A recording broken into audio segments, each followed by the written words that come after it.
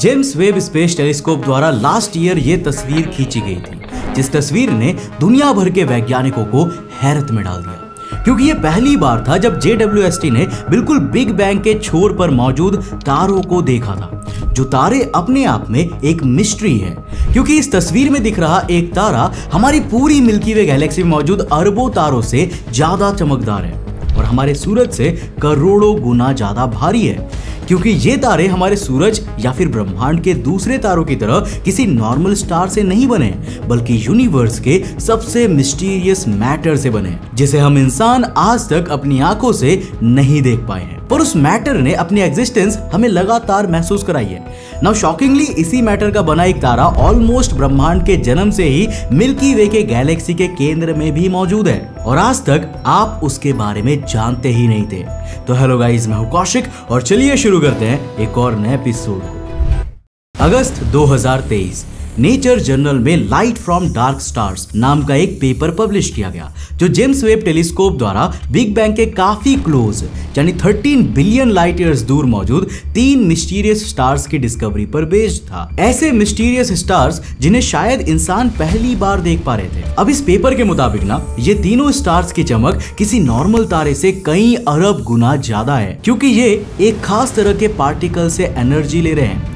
ऐसे पार्टिकल्स जिसे हम इंसान देख ही नहीं सकते। लेकिन उनके गुरुत्वाकर्षण को यूनिवर्स में ग्रेविटेशनल लेंसिंग के तौर पर महसूस कर सकते हैं। क्योंकि इन पार्टिकल्स की मात्रा यूनिवर्स में हमारे नॉर्मल मैटर से कई गुना ज़्यादा है। इन स्टार्स को जेडब्ल्यूएसटी के advanced deep extra galactic survey यानी कि जेडस प्रोग्राम में डिस्कवर किया गया है। जिस प्रोग्राम का मकसद ही यूनिवर्स में बिग बैंग के सबसे क्लोज की गैलेक्सीज एंड अदर ऑब्जेक्ट्स को ऑब्ज़र्व करना है। एंड वी ऑलरेडी नो कि जे के अलावा पृथ्वी का कोई भी टेलीस्कोप इतना केपेबल नहीं है कि वो ब्रह्मांड के ऑलमोस्ट छोर से आती हुई इन एंसियंट ऑब्जेक्ट की इंफ्रारेड लाइट को इतना डिटेल्ड वे में कैप्चर कर सके। ना फॉर एग्ज़ाम्पल JWST के इस तस्वीर में, आप जिन मिस्टीरियस स्टार्स को देख पा रहे हैं ना, इनका फॉर्मेशन बिग बैंग के केवल 700 मिलियन ईयर्स बाद ही हो गया था, जिस समय यूनिवर्स की ओवरऑल एज आज के मुकाबले केवल पाँच परसेंट थी। अब इन पिक्चर्स को देखते हुए ऐसा लगता है, मानो ये स्टार्स नहीं, बल्कि गैस के चमकते नेब्यूला हो। और शुरुआत में तो रिसर्चर्स इन्हें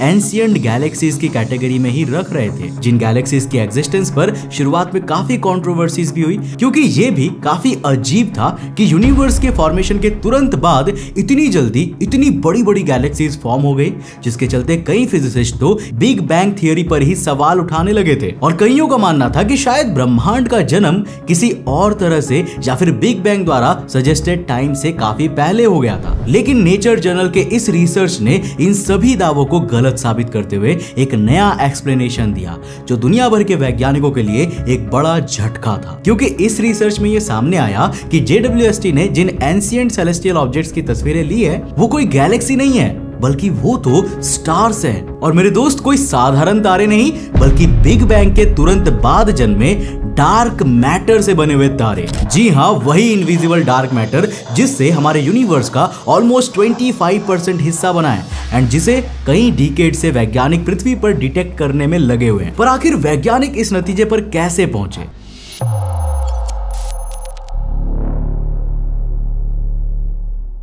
तो दोस्तों नेचर जर्नल के इस आर्टिकल के माने तो यूनिवर्स में अलग अलग ऑब्जेक्ट्स द्वारा लाइट को एक खास पैटर्न में ऑब्ज़र्व एंड एमिट किया जाता है। और हर ऑब्जेक्ट का ना, अपना एक स्पेसिफिक वेवलेंथ स्पेक्ट्रम होता है, जिसे आइडेंटिफाई करके हम उन ऑब्जेक्ट्स की पहचान कर सकते हैं। कि वो कोई गैलेक्सी है, कोई नेबुला है, या फिर वो कोई स्टार है। इसीलिए जब जे के जेडस सर्वे में इन तारों की तस्वीर खींची गई, तब से लेकर कई महीनों तक वैज्ञानिकों ने लगातार इनसे आने वाली लाइट के वेवलेंथ स्पेक्ट्रम को रिकॉर्ड किया। और देखो, मोस्टली गैलेक्सीज के वेवलेंथ स्पेक्ट्रम में एमिशन लाइंस देखने को मिलती है। जबकि तारों की बात करें तो हमें उनके वेवलेंथ स्पेक्ट्रम में मोस्टली एब्जॉर्प्शन लाइंस देखने को मिलती है, खासकर 1640 nanometre helium two absorption line, जो केवल ब्राइट स्टार्स के अराउंड ही देखने को मिलते हैं। और शॉकिंगली हमें ये एब्जॉर्प्शन लाइंस इन तीनों तारों में मिली, जो एस्ट्रोनॉमी एंड साइंस के फ़ील्ड में एक मेजर ब्रेक थ्रू माना जा रहा है। क्योंकि इससे ना ऑलमोस्ट क्लियर हो जाता है कि ये तीन स्टार्स डार्क मैटर से बने। इतना ही नहीं, बल्कि इन डार्क मैटर स्टार्स के बारे में वैज्ञानिकों का कहना है कि ये तारे हमारे सूरज या ब्रह्मांड के नॉर्मल तारों की तरह न्यूक्लियर फ्यूजन एनर्जी नहीं क्रिएट कर रहे हैं। लेकिन फिर भी, इन तारों की चमक हमारे सूरज से कई अरब गुना ज़्यादा है। इन शॉर्ट इन पिक्चर में दिख रहा हर एक तारा हमारी मिल्की वे गैलेक्सी में मौजूद सभी तारों जितनी एनर्जी, या साइंटिफिक टर्म में कहूँ तो फोटोन्स निकाल रहे हैं। पर सवाल ये आता है कि आखिर कैसे? तो देखो, वैज्ञानिकों के मुताबिक ना, इन तारों के कोर में डार्क मैटर काफ़ी ज़्यादा डेंसिटी में है।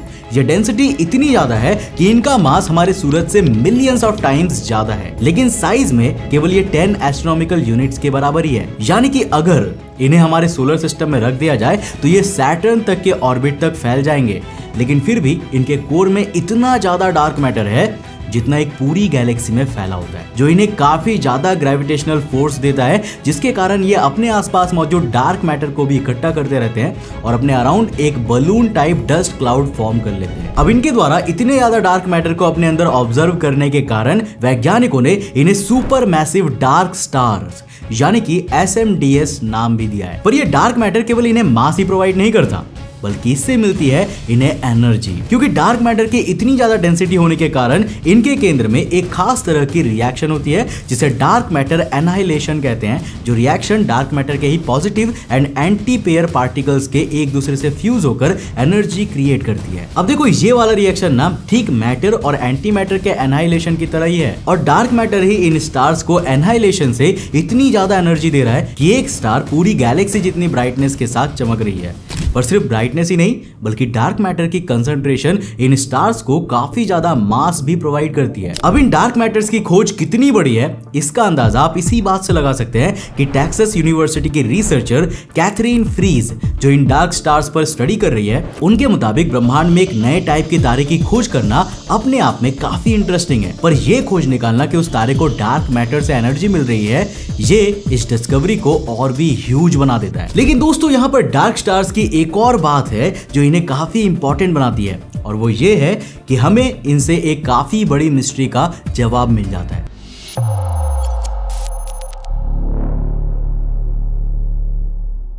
जैसा कि हम जानते हैं कि यूनिवर्स का 95 परसेंट भाग डार्क मैटर और डार्क एनर्जी का बना हुआ है। यानी जब यूनिवर्स का फॉर्मेशन हुआ था तो नॉर्मल मैटर के मुकाबले डार्क मैटर इससे कई गुना ज़्यादा मात्रा में बना होगा। और इसीलिए यूनिवर्स के क्रिएशन के बाद जो पहले स्टार्स क्रिएट हुए थे, वो एक्चुअल में नॉर्मल मैटर से नहीं बने थे, बल्कि वो डार्क मैटर से बने थे, जिनके ऊपर बाद में नॉर्मल मैटर इकट्ठा होना शुरू हो गया, जिसके प्रेशर के चलते बाद में डार्क मैटर पार्टिकल्स और क्लोज आए, और उनके पेयर्स में एनहाइलेशन से एनर्जी क्रिएट हुई, और जिस एनहाइलेशन के दौरान नॉर्मल फोटोन्स न्यूट्रॉन्स और अदर पार्टिकल्स भी निकले, जिन फोटोन्स के बाद में ट्रेवल करते हुए जे तक आने के चलते ही हमें इनकी ये इंफ्रारेड तस्वीर मिलती है। देखो डार्क स्टार्स किसी नॉर्मल तारे से millions and even billions of times ज़्यादा एनर्जी रिलीज़ करते हैं, जिस एनर्जी के लगातार रिलीज़ होने के कारण इन पर लगने वाला इनवर्ड ग्रेविटेशनल फोर्स इनके केंद्र में डार्क मैटर के एनहाइलेशन से निकलने वाली एनर्जी के आउटपुट के चलते बैलेंस रहता है। पर इतनी ज़्यादा एनर्जी बहुत तेज़ी से फेंकने के कारण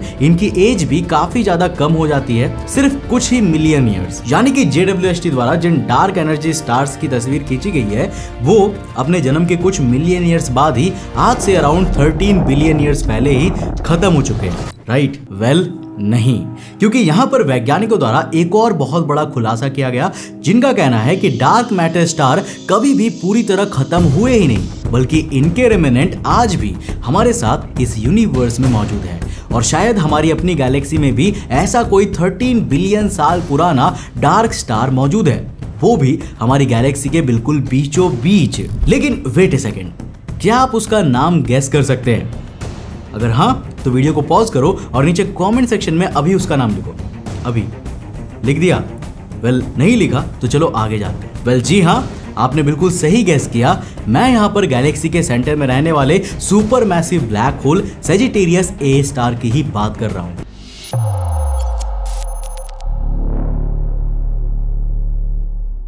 अब चलिए दोस्तों, मान लेते हैं कि इन पिक्चर्स में दिख रहे स्टार्स डार्क स्टार्स ही है और इस तरह के बहुत से डार्क स्टार्स अर्ली यूनिवर्स में एग्जिस्ट करते थे। पर आखिर हमें अब यूनिवर्स में डार्क मैटर से बने डार्क स्टार्स क्यों नहीं दिखते? तो देखो, बाकी नॉर्मल तारों की ही तरह जब इन तारों का भी फ्यूल जो कि इस केस में डार्क मैटर था, उसके पूरी तरह खत्म होकर एनर्जी में बदल जाने पर इनकी इनवर्ड एंड आउटवर्ड फोर्स जो इनके कोलैप्स को रोके हुई थी, उसके खत्म हो जाते ही ये अपने केंद्र की ओर कोलैप्स हो गए और इन्होंने अर्ली यूनिवर्स में ही हमारे सूरज से मिलियंस ऑफ़ टाइम्स ज़्यादा मैसिव ब्लैक होल्स का निर्माण किया, जो यूनिवर्स के शुरुआती ब्लैक होल्स होंगे। एंड ये वही ब्लैक होल्स है जो फिर इन बिलियंस ऑफ़ ईयर्स तक लगातार अपनी सराउंडिंग में मैटर को खाते गए, जिससे इनका मास हमारे सूरज जैसे स्टार से बिलियंस ऑफ़ टाइम्स ज़्यादा हो गया। इतना ज़्यादा कि ये यूनिवर्स के बाकी बचे मैटर एंड उनसे बने celestial objects like stars planets को ही अपने चारों ओर घुमाने लगे, जिनसे एक मेगा स्ट्रक्चर का निर्माण हुआ, जिन्हें आज हम गैलेक्सीज कहते हैं। यानी डार्क स्टार्स की डिस्कवरी एक बहुत ही इंपॉर्टेंट क्वेश्चन का सोल्यूशन देती है कि आखिर गैलेक्सीज के केंद्र में मौजूद इन सुपर मैसिव ब्लैक होल्स का निर्माण कैसे हुआ था? और इस बात के प्रूफ हमें पहले भी कई थियोरीज में मिले हैं।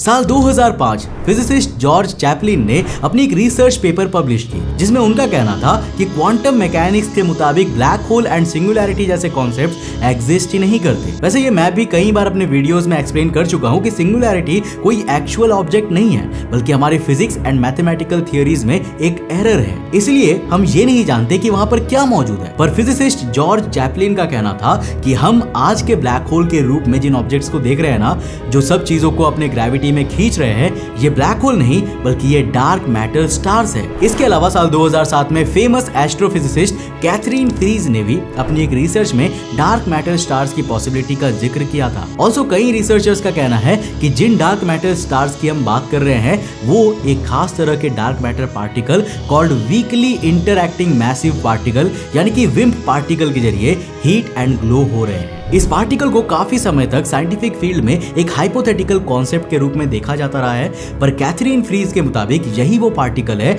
जो डार्क मैटर को उनकी ग्रेविटी देता है। और शायद इन्हीं पार्टिकल्स की वो स्पेशलिटी है जिसके चलते अगर हम इन्हें सही प्रेशर पर एक साथ पास में ले आए तो एनहाइलेट होकर ये फोटोन्स को रिलीज़ करते हैं। ये सब चीज़ें पेपर पर तो काफ़ी पहले से ही लिखी थी, पर क्योंकि अभी तक डार्क मैटर के बारे में हमारी समझ ज़्यादा नहीं है, इसलिए डार्क मैटर स्टार्स के एग्जिस्टेंस के बारे में पहले ज़्यादातर वैज्ञानिकों को बिलीव नहीं था। लेकिन फिर भी कई वैज्ञानिक चाहते हैं कि अभी हम इन तारों से रिलेटेड और भी प्रूफ्स को खोजे और इनकी क्वालिटी के बारे में जाने। नाउ आई होप कि आपको आज के इस वीडियो से काफ़ी कुछ नया सीखने को मिला होगा। और काफ़ी इंटरेस्टिंग लगा होगा। वैसे आप क्या सोचते हो क्या डार्क मैटर स्टार्स वाकई में इस यूनिवर्स में एग्जिस्ट कर सकते हैं? और अगर देखो ऐसा है ना तो बड़े बड़े सुपर मैसिव ब्लैक होल्स का जो क्वेश्चन है कि आखिर ब्रह्मांड में ये बड़े बड़े सुपर मैसिव ब्लैक होल्स कब फॉर्म हुए थे और कैसे फॉर्म हुए और क्यों ये गैलेक्सीज के सेंटर में एग्जिस्ट करते हैं? इसका जवाब हमें बहुत ही आसानी से मिल जाएगा। वैसे आपको क्या लगता है, अपनी राय नीचे कमेंट सेक्शन में लिखकर ज़रूर बताना। अगर आपको ये वीडियो इंटरेस्टिंग लगा ना तो इस वीडियो को लाइक करके जाना और अपने दोस्तों के साथ ज़रूर शेयर करना। अगर आप नए उस चैनल पे तो इस चैनल को सब्सक्राइब करने के साथ साथ नोटिफिकेशन बेल ऑन कर देना।